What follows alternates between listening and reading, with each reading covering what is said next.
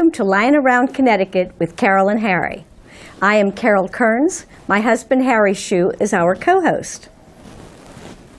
Our mission for the show is twofold to provide information about Connecticut Lions events and to showcase the many different organizations and causes that Lions support locally, regionally, and internationally. Harry? Good evening and welcome. Please consult our website at www.lions23b.org or your district spirit for more information on coming events. Hello, everyone, and welcome to Lion Around Connecticut with Carol and Harry. Welcome back to part two of our District 23B orientation, which was held at Camp Happy Hill Oh, in yes. Unionville. So, on with the show. En avant. We run three centers that deal primarily with the elderly. That macular degeneration tends to be an elderly disease. Diabetic retinopathy comes uh, at any age, but again, tends to be somewhat of an elderly. Uh, We also deal with with folks that have industrial concerns with their sight. But we have three centers here in District 23B. We have many throughout the state of Connecticut, but we're District 23B, so I want to talk about us. We have a center up in Torrington, we have one in Bristol, we have one in New Britain. Essentially, at some point, particularly with macular degeneration, a patient's going to go into their eye care professional who's going to say, you know what? I can't do anything for you. Macular degeneration is not curable. All you can do is slow it down. But it's nevertheless leading toward eventual blindness. So what happens to an individual when they go into the eye doctor and the glasses aren't going to work anymore? You're past that now. Hopefully the eye care professional says to you, let's go to the Lions Low Vision Center. At the Low Vision Center, you get to work with an occupational therapist because all three centers are affiliated with the local hospital. It's a partnership that we do as Lions. So you've got an occupational therapist working with you on safety in your home, whether you need certain types of lamps, what glare will do to you, what certain kinds of backgrounds. Believe it or not, there are colors that help you see better, the distinction. I believe black on yellow is a lot better than black on white, believe it or not. Okay, Thank you, Peter saying yes, so I guess I'm right. Okay. Working with that, but in addition to that, you might need a magnifier, handheld magnifier. You might need a, a $3,500 magnifying machine. None of that usually is provided by your insurance carrier. And it certainly is not provided by Medicare or by anything the state of Connecticut will do for you. It's provided by your Lions Club. The average client walks out of a low vision center with approximately two to three hundred dollars worth of devices, as we call them, given to them free of charge by the Lions Club. When your club donates, you donate to the Low Vision Center. You're donating for someone to walk out of that center having what they need in terms of, of literally a mechanical aid that will help them see. Sometimes it's a special lamp, sometimes it's a handheld magnifier with, with, uh, with lighting. And sometimes, and I've literally delivered a large machine, the thirty-five hundred dollar machine, it looks like a, an old-fashioned desktop computer. That literally you put the printed material in, and it magnifies the material. You talk about being a lion. My experience in terms of when I became a lion was when I delivered that machine to an elderly patient in Bristol, because I'm a member of the Bristol Club. And we sponsor that low vision center. So when they call and they say, we need someone to deliver this machine, one of our lions goes out with that machine. And just knowing that I made the difference in that woman's life was amazing to me. That's when I became a lion, not when I got the pin, when I performed that kind of service. So that's what low vision does. Our job is to provide devices to the visually impaired, not totally blind. Not, we don't take the, the place of the state in terms of working with someone who is permanently totally blind. Our focus is more on folks that unfortunately are in that range between being helped by the normal kinds of things, principally eyeglasses and contacts, and total blindness. There is, there is a level on that continuum. And believe it or not, there are thousands of people in the state of Connecticut that you can help as Lions in this particular situation.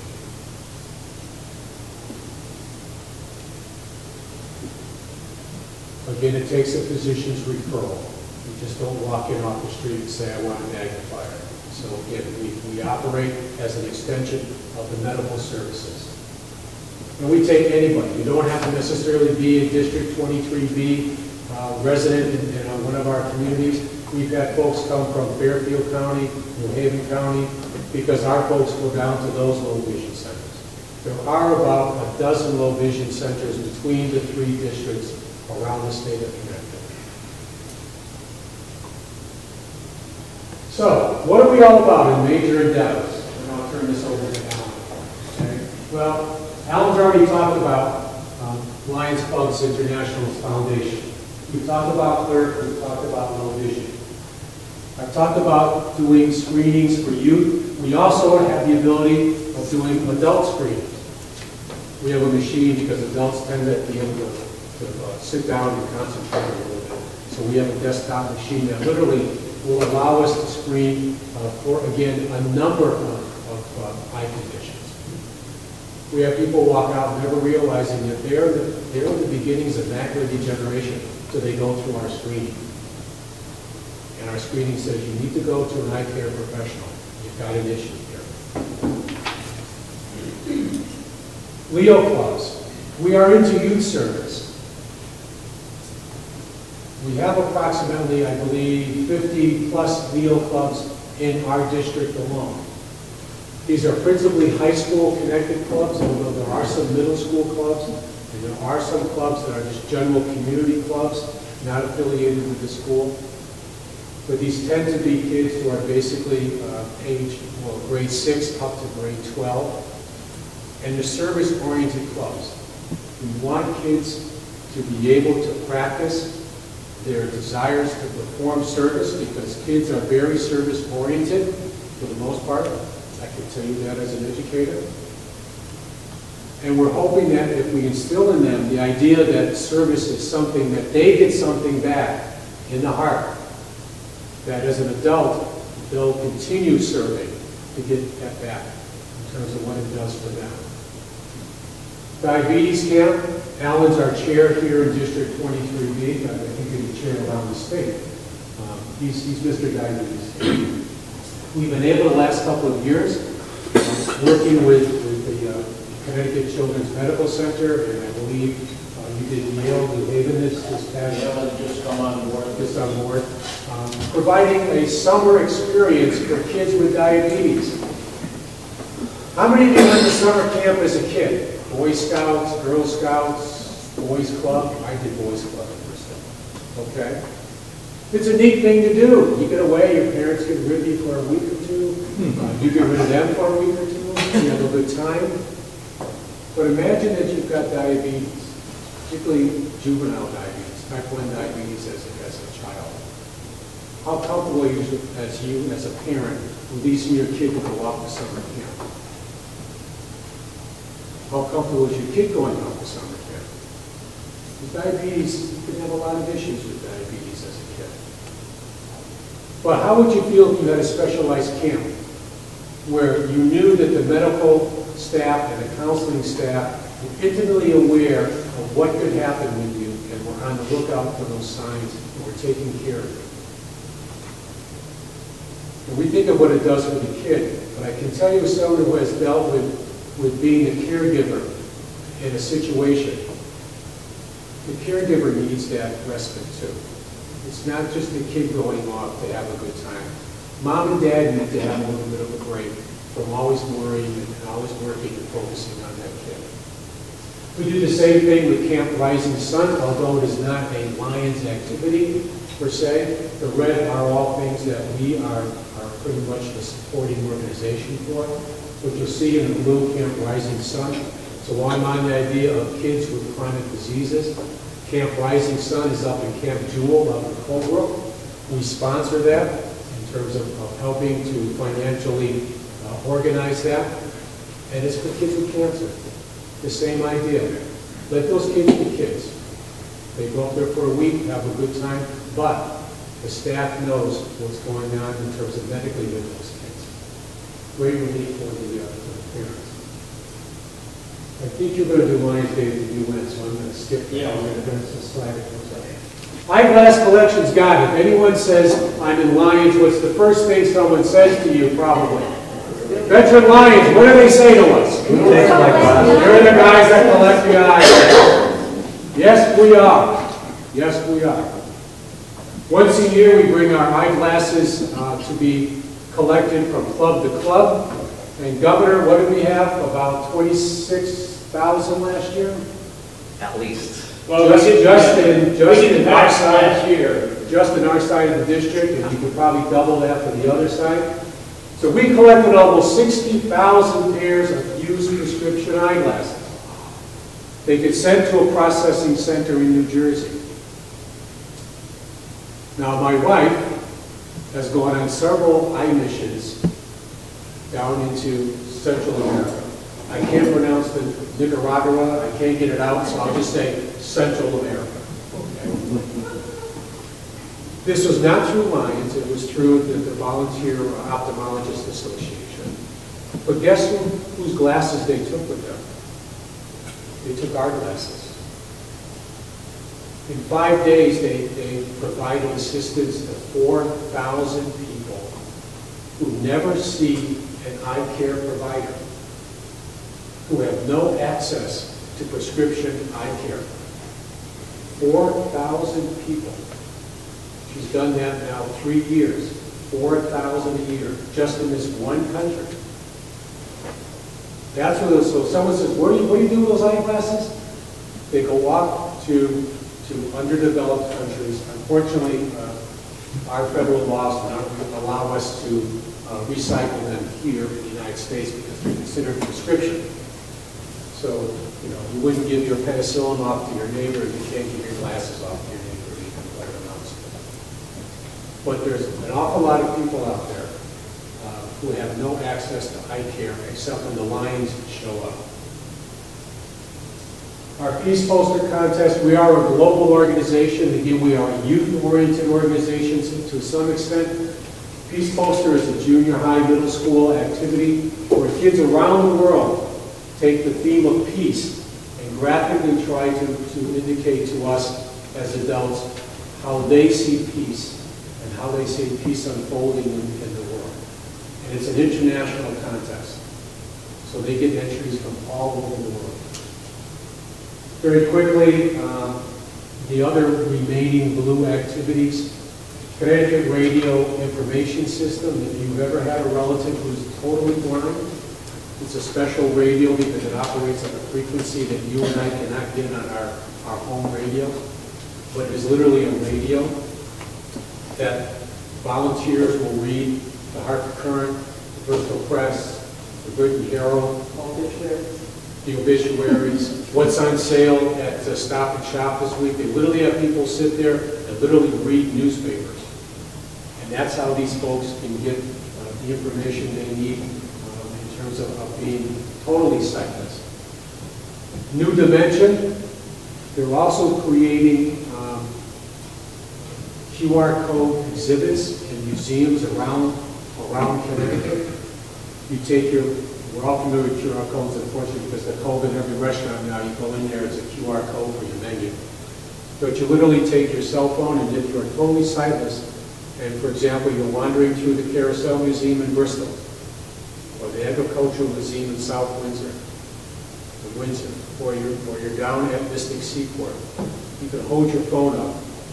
You don't have someone with you trying to explain to you what that exhibit's all about. They just point your phone to that QR code, and your phone talks to you.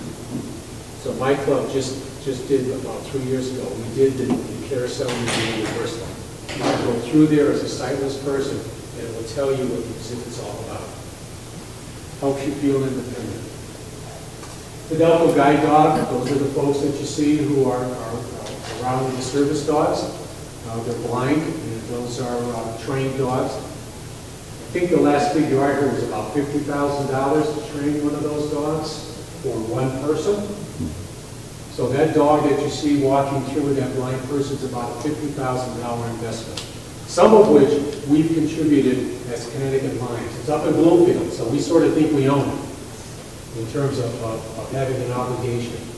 And our good photographer here is on the, uh, the advisory board uh, for the, uh, for the Fidelco Group.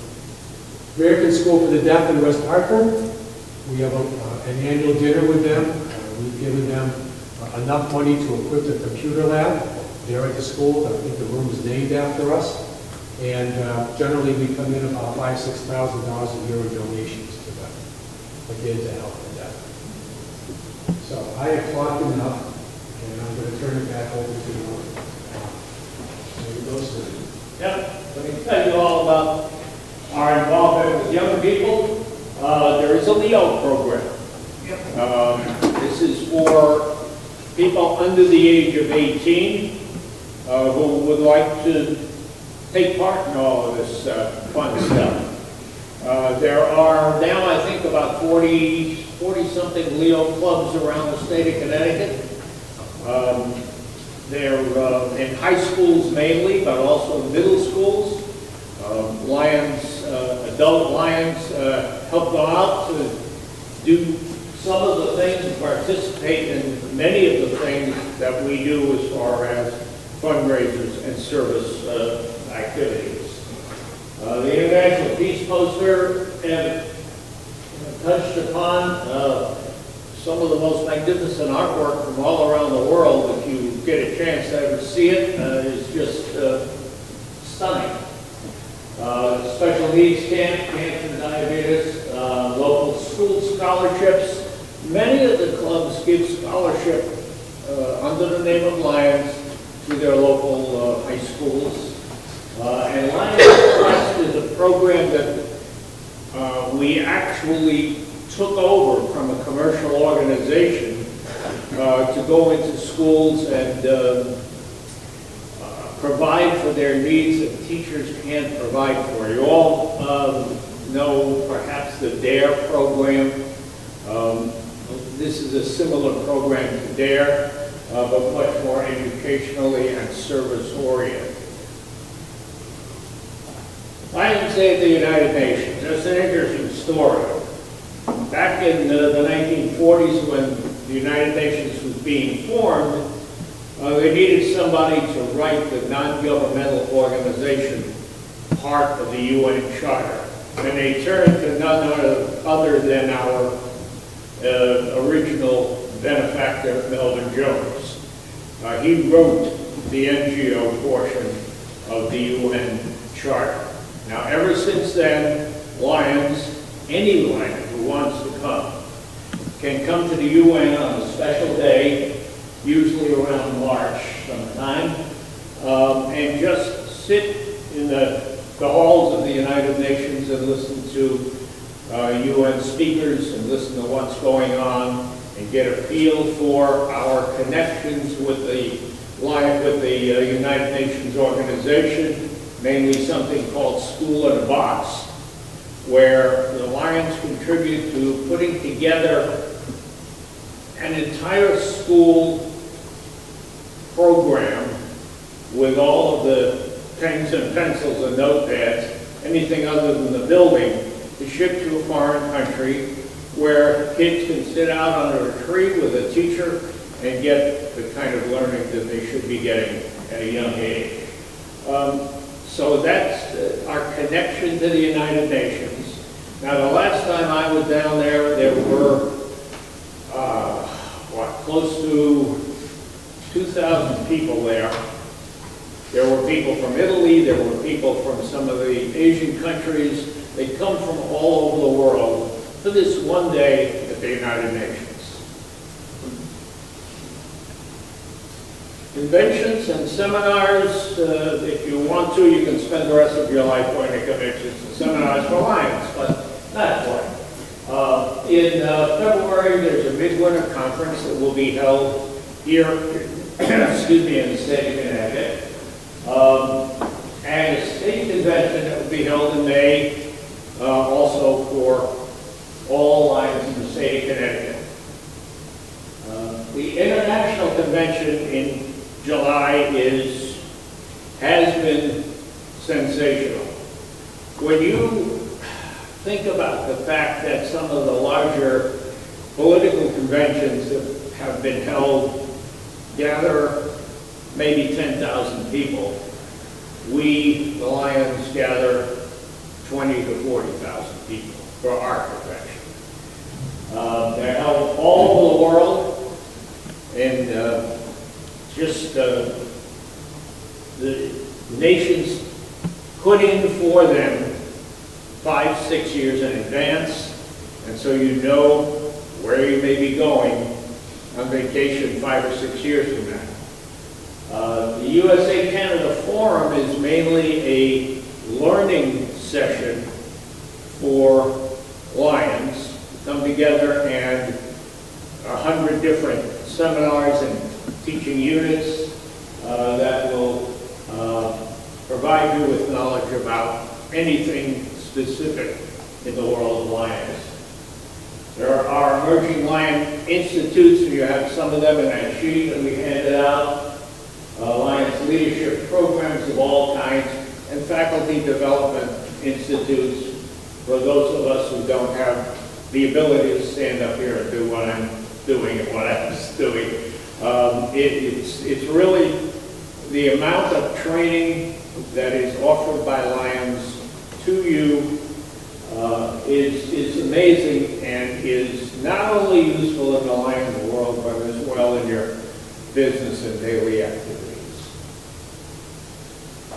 Uh, Lions Magazine, I had a copy of it somewhere. I think it's in that brown case. Anyway, uh, it comes out four times a year. Um, Are any of the six new Lions here getting it yet? It was an issue that just came out. No? Let me, uh, let me just take a second and dig it out. Can just pass it around and look at it.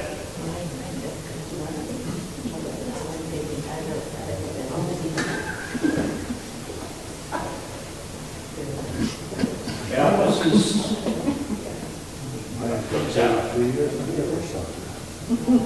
And in addition, they're working to put it all online. It is, uh, it is printed in 22 different languages, so you get some sense of how, how much of the world covers.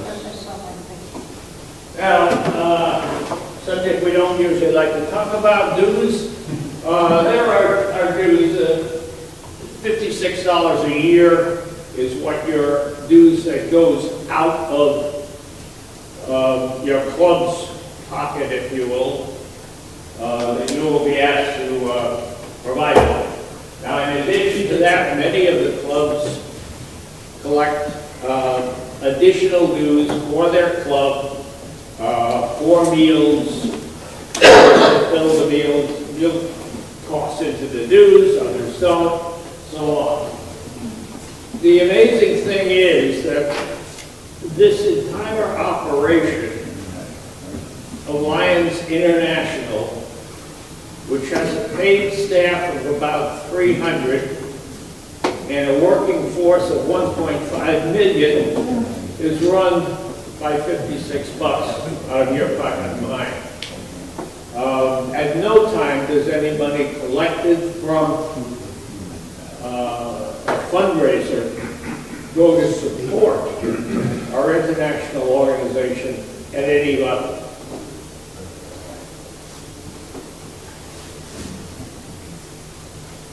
there are three websites that you can remember.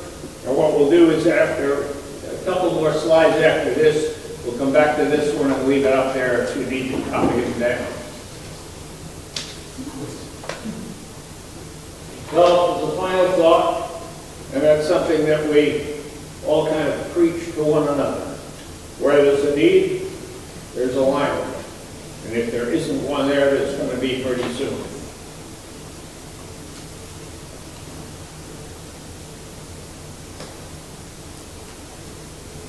We serve. That's what it's all about. Uh, we have one minute, I want to tell you a story. When we talked about um, curing blindness uh, overseas, our influence around the world. There is a disease, onchocerciasis, which is actually known as river blindness. We, there may be one of you in the room who knows about that, but most, to most of us, it's an enigma. River blindness is caused by the little parasites in the waters and rivers and streams, mainly in equatorial countries around the world. It has a habit of getting into the human body through any kind of an opening or cut or sore, anything like that. Um, and you can imagine that some of the people in some of these countries in equatorial Africa and America, the Americas, um, use the rivers and streams for just about everything. This little parasite has a habit of working its way up into the smallest uh, blood vessels anywhere in the body. And unfortunately, the smallest blood vessels are in the eye. And in many countries in Africa, 10 or 15 years ago, if you went over there, you would find that most of the people above the age of 20 were either blind or going blind. We here in Connecticut had a lion who happened to be an eye doctor working in, uh, at um, UConn Medical Center. And in his laboratory, he worked on the idea of providing a very small amount of poison That is a very interesting story about river blindness. So come back next week for the conclusion of that story and the end of District 23B orientation. That'll do it for this episode of Lion Around Connecticut with Carol and Harry. Bye now. Bye-bye. We hope you enjoyed our show this evening. Tune in next week for another Lion Around Connecticut with Carol and Harry. Good night. Bye-bye.